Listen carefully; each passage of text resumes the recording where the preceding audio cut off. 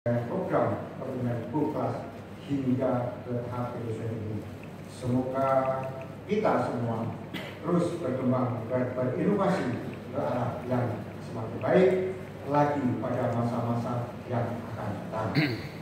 Wassalamualaikum warahmatullahi wabarakatuh.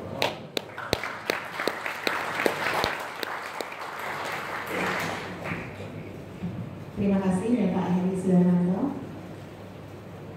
Berikutnya setelah